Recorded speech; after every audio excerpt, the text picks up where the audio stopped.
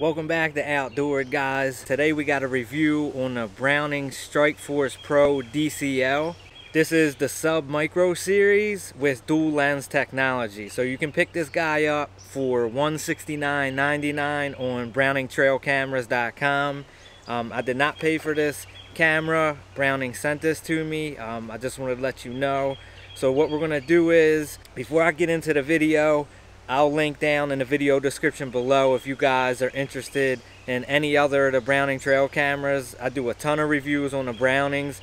I'll list them down below so you guys can uh, get to them really easily. This Sub Micro series is new for me. It only takes six AA batteries. As far as setup and stuff, I usually put in my videos. I'm not gonna do it this time to keep the length of the video down, so I'll link a similar setup camera down in the video description as well so you guys can uh, you can go there and if you need help with setup that video will explain step by step how to set your cameras up. But we're going to put this out today. We're going to let it soak. I wanted to highlight real quick too some of the you know key features of this camera. 130 plus feet of adjustable infrared illumination. Um, it has the new Radiant 6 night illumination technology so it has six high power LEDs this is a 26 megapixel camera. This does photos and video. We're going to test both and I'm going to put sample footage in this video for you guys to see. This can capture up to 15,000 images on six AA batteries which is awesome. Another feature, I'm really interested in this 2022 uh, Strike Force Pro DCL model is the wide view 54 degree camera viewing angle. I'm really interested to check that out. Hopefully we can catch some deer in a wider frame. I haven't had an issue with the Brownings in the past though, they've been excellent, so I'm not too worried about that. As far as all the other features, guys, if you want to head over to browningtrailcameras.com, they'll have all that listed, and you guys can also compare cameras there. Um, they have SD cards, batteries, tree mounts, you know, anything you guys need to get you know your camera running out in the field um, you can head over there for all that stuff one more thing i wanted to highlight with the strike force pro dcl guys is that it has the dual camera lens technology so pictures are captured using a separate custom tuned camera lens for day or night shots. Um, I had the Browning Patriot and you know that had a similar feature where it had two different cameras. And what that did really well was in low light it still grabbed full color pictures so we're gonna put this to the test. Like I said you guys will see everything it takes. So definitely stay tuned uh, to the channel. And you also do get a one-year warranty. So stay tuned. We're gonna go put some corn out. Also stay tuned to that because I'm gonna show you what works for me and what I use. And uh, maybe that can help you guys get some inventory and get some deer in front of your trail cameras all right guys. We got the Strike Force Pro DCL behind me. We got the uh, this is actually I wanted to show you this but real quick this camera is tiny, guys. I really am liking the size of it. Real quick, I'd like to add in tips on my trail camera reviews and let you guys know what I'm doing. Like I said before, I'm putting this uh, Big time fortified deer blend down. Um, and I'm also putting two bags of regular corn down. Uh, this has like a cherry rush flavor and scent to it, so um, it really gets the deer coming in. It's got some sunflower seeds. Um, I'm gonna do another video on just this Big time fortified deer blend. So um, stay tuned to the channel if you guys are interested in that. All right, so we have the Strike Force Pro DCL set to trail cam mode, which means we're gonna take pictures first, okay? So once we get enough of them, I'll switch it to video just so we can put both in the video so you guys can see the quality that this uh, Strike Force Pro DCL has to offer. So I'm gonna I'm gonna put the corn all out through here. Um, once the deer start hitting it, they'll mash all this whatever this plan is down out of the way. I'll show you guys like you know everything that we get on this camera. I'm a little late to actually putting this camera out in corn. I usually start at like may. Um, we're already mid-june so i don't want to waste any more time. Um, i'm going to try to get the bucks coming get you guys some velvet buck footage in trail cam mode and video mode. If you guys haven't subscribed though make sure you smash that subscribe button down for me drop a comment let me know what Browning trail camera you guys want me to review. Also, smash that like button if you guys like these types of videos. Ring that notification bell too so you guys get my new content as soon as it drops. If you guys were wondering what mount I'm using uh, for my Browning Strike Force Pro DCL. It's a stick and pick uh, tree mount. So it just screws into the tree. You don't need a perfect tree. You don't need, it doesn't matter if it's smaller or bigger, like a strap. You kind of, sometimes depending on the tree, fight with that. Browning does give you a strap in your package though. But if you didn't want to use that, um, I recommend the stick and pick. It's awesome. Like I said, it works on many different angles. Um, you know, pretty much it'll work on any tree. So, you know, if you guys were curious about that, I'll link that down in the video description as well. All right, guys, I got the corn out behind me, as you can see, and I get a lot of bucks that come from down there where that creek bottom is in that corner. So I'm excited to see some velvet buck show up. Um, stay tuned, guys. All right, guys, real quick on uh, Strike Force Pro DCL. Um, it has the motion, the aim test feature, and you just scroll down to the menu, hit this M right here, and go down to aim test and hit OK. And that's see how when I move, it's lighting up. So that's going to show you what the camera is going to detect, okay?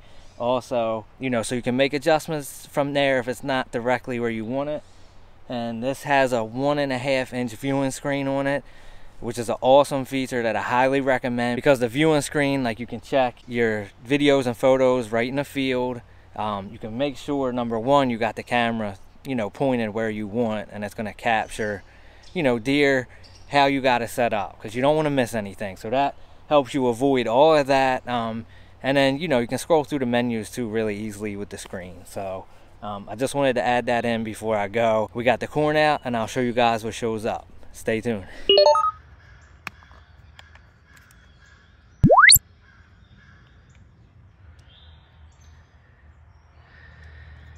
Alright guys, we got some pictures. Um, the camera was upside down. I don't know. The only issue I've ever had with these mounts is uh, if a squirrel or raccoon or something gets on top, you know, it was upside down. So I'm guessing that's what it was. Still got 100% battery life. If you want to check your pictures from your camera, guys, you just hit the right button and then scroll. So you can see that's that was me um, I want to show you real quick. This is behind me. So they absolutely tore this place up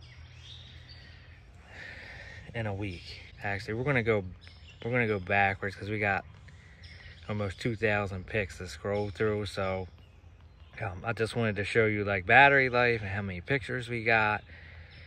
And then uh, I'll roll all these pictures and stuff into the actual video. I'm not sure when our last picture was, when this thing went upside down. Tell you what, real quick, I'm gonna turn this off and pop this SD card in my phone, and then, you know, I'll show you guys from there. Stay tuned, guys. Um, I'll either keep running it on pictures or I'll flip it to video. Either way, you guys will see uh, what we capture. Stay tuned. All right, guys, let me give you my thoughts on the Browning Strike Force Pro DCL. Um, real quick, I just wanted to let you know, like, I'm always going to give you my honest opinion, no matter what my relationship is with companies. Also, my job is to make sure I give you the information, you know, to take out of these videos and make the decision on whether these products are for you or, you know, help narrow down the process of picking out one trail camera out of a ton of them. Drop down below though if there's a specific model of the Browning trail cameras that you guys want me to do a review on. Okay, so on top of the pictures and videos that this camera took before I put it on the bait pile, it took over 500 videos. And keep in mind, like that was with smart infrared on, which means the camera stays triggered as long as the game is still, you know, in front of the camera. So um, and some of them clips are, that means some of the clips are a lot longer than what you set the time of the video to on the camera. So excellent battery life out of this camera. Also, I wanted to let you guys know SD management was also on. So what that means is it will overwrite the oldest footage with the newest. That way you don't miss anything. So, you know, keep that in mind too because, you know, as far as numbers go, it could have actually took more than what it's showing. This thing takes really good pictures. Um, it also takes good video. So if you're somebody looking again, just like the Dark Ops Pro DCL for like, you know, full color uh, images and low light, when a lot of the big boys move around and stuff like that. Like this is a great camera for that. This is what this Strike Force Pro DCL excels at with the dual camera lens technology. It's just grabbing that light in low light situations and giving you a color image versus a black and white. So just like my Dark Ops Pro DCL review guys, like the Strike Force Pro DCL has that little steel mounting uh, tree bracket on the back and it's angled so like it has that little plastic piece on the back that you can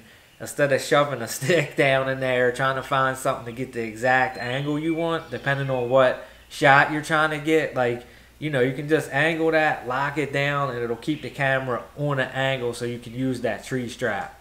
So i just did a review on the dark ops pro dcl2 which is basically the same camera you know one of the main differences is like with the strike force pro dcl is you don't have that blacked out like tinted film on the front of the LEDs. So you're gonna see this camera versus like the Dark Ops Pro DCL. Um, but the advantage of the Strike Force Pro DCL is you're gonna get you know better nighttime pictures because the camera lights up a lot more, um, covering more distance and just brightening things up a lot. So like if you're on the fence and don't know which you know out of Strike Force Pro and uh, Dark Ops Pro DCLs like that's kind of the main thing. Um, there's a little bit of a price difference, but not much. You know, and obviously, like the main thing is the only difference that's really going to be is nighttime. Like I didn't notice a difference in quality in pictures or video during the day. They both did really good at pictures and video. So one more thing I wanted to cover too, guys, is because I put this over bait, I just you know want you guys to know too, like it, the time frame this camera would have lasted would have been a lot longer, but you know, for this video purpose. I wanted to try to run this thing at its hardest to, you know, fit all this in the video because I know in these reviews, one of the main things you guys want to see is battery life. So um, I was able to do that and I hope this helps you guys out and narrowing down um, you know, whether this camera is for you or not. But I didn't have any issues with the camera. One thing I did notice in video mode was some static noise. But if you head over to browningtrailcameras.com then scroll to customer service, then go to the drop down and hit software and updates. They'll list all the firmware updates for their cameras. So chances are they'll have an update for it. I have seen this in the past. Um, not 100% on that, but uh, a lot of people give up on trail cameras and all you got to do is a firmware update. It's simple. You just pop the SD card in, drag the file to it, take that SD card, put it back in your camera, scroll through the menu and go to firmware update and the camera will do it for you. You can do it. It takes a couple minutes tops, if that. I think that's pretty much it, guys. If you have any questions or anything, drop them in the comments. I'll be more than happy to answer them for you. Smash that subscribe button down for me. Give this video a like if you liked it. Also, ring that notification bell too, guys, so you get my new content as soon as it drops. Until the next one, you have officially been outdoors.